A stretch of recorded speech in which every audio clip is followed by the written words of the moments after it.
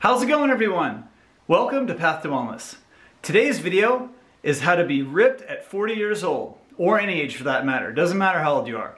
So if you're not yet subscribed to the channel, go ahead and click the subscribe button and check the bell so you're notified of my new videos. Alright, so just wanted to go over four quick main points of how to be ripped at any age. And I'm going to show you what I recently ate in a day. I like to do these what I ate in a day videos to give you ideas of foods I recommend that, to maintain health. All right, so number one when it comes to being ripped is intermittent fasting. And I talk about this a lot on a lot of my videos. Uh, I highly recommend intermittent fasting. And this is when you eat in a specified window every day. So let's say you eat in, anywhere between a one hour to an eight hour window, and you're fasting anywhere between 16 and 23 hours every day. Now there are a lot of health benefits to this, but also if you're overweight and you want to lose fat and lose weight, you, you basically, this is the best way to go about it. Is the number one thing to do is intermittent fast. Now, the more weight you have to lose, the tighter you need to have your eating window. So if you're, let's say you're 50 pounds or more overweight, you've got to have a 30 minute to a one hour eating window and keep the calories lower. As you lose weight, you're going to be able to expand the eating window more and then once you get to your goal weight, you just basically have a maintenance routine that works for your lifestyle. But I eat anywhere between a uh, two hour and eight hour window every day, uh, just depending on what routine I'm doing. And right now I'm generally eating in a six to eight hour window. I sometimes go to a two to three hour window, but that kind of varies. But for you, you gotta do what's gonna work for you. Again, if the more weight you have to lose, you need to keep it in a tight eating window and you can you can expand that window as you get more fit and you need to maintain your weight, then you can get into maybe like a 16-8 routine where you're just intermittent fasting for 16 hours and you have an 8-hour window. So that is number one. It's absolutely key. If you're not doing intermittent fasting and you're trying to lose weight, that's definitely something you got to look into. Uh, the second thing is eating a clean diet. Now, the foods that I eat for the most part, and what I recommend are lots of fruits and vegetables. These are the most nutrient dense foods. In my opinion, they're the best foods for you. And they're also more calorie dilute. So if you're eating more of these fruits and vegetables, they're more water rich, fiber, and that's gonna help you maintain a lean body. So, um, you know, eating clean food is huge. Definitely recommend lots of fruits and vegetables. Of course, I'm not perfect, but I do the best I can and I'm able to maintain the body that I want with that type of a diet. Um, the third thing is daily exercise. Now, when I'm talking about exercise, I mean specifically you got to do some strength training and you got to work your muscles. Uh, I don't recommend just running or just doing one thing, but vary it up.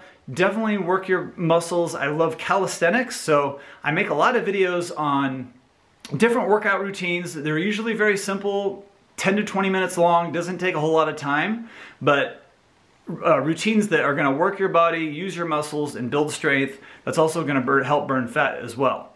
So that's the third point.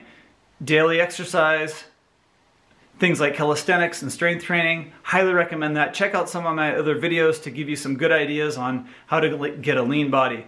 Uh, and the fourth thing is proper rest and recovery. So make sure you're sleeping well at night. Make sure if you need a day off from working out, you take that day off, let your body recover, and that's also really important. So those are the four main points. I'm also showing you here uh, what I recently ate in a day, just to help give you some more ideas. And before I do that, I want to mention I'm now doing fat loss and fitness and wellness coaching and motivation. So if you're interested in some help, just go ahead and email me or you can message me on Instagram or Facebook and we'll get in touch and see what I can do to help you out. All right, so here we go.